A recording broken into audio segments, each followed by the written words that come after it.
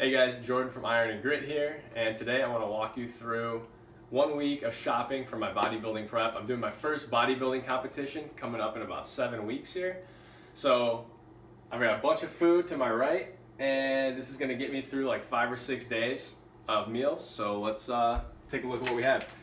So I've got a bunch of steaks, probably have like two of these per meal, so that'll get me through, you know, at least two or three or four dinners.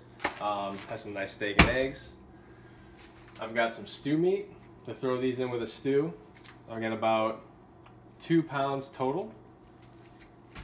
Um, here we have hamburger meat. I'm gonna make some stuffed peppers and some breakfast patties, maybe like four. This will make like five four ounce patties. And what I've been doing lately is the Charles Poliquin meat and nut breakfast, and it's been doing a really good job for me, so I'm gonna keep that up. And then whatever's left over, and I'll probably have to buy a little bit more. I'm gonna make a couple stuffed peppers out of it, just because eating the same thing every day sucks. So it's getting old. Um, a few things of chicken breast. If you watch my videos from like the previous couple of weeks, you know that I got like six or seven of these per week. I'm down to two. I'm leaning more towards like the red meat because this chicken is just I can't eat chicken anymore. It's just becoming too much of a pain in the ass, so I kind of moved over to the red meat instead.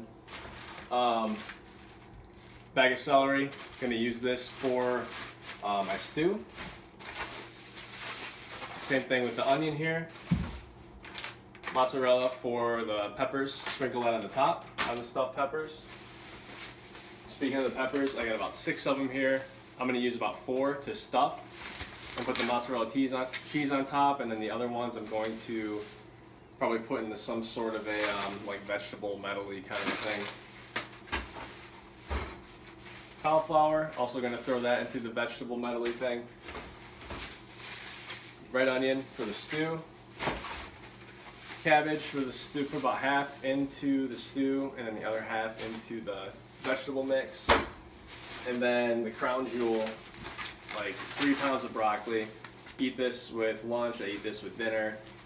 It's great, it's like the only vegetable. It's the vegetable that has the most protein in it, plus it helps dry you out. So that should be a staple for you. In case I get a sweet tooth, I've got two big ass tubs of fat-free Greek vanilla, vanilla yogurt here.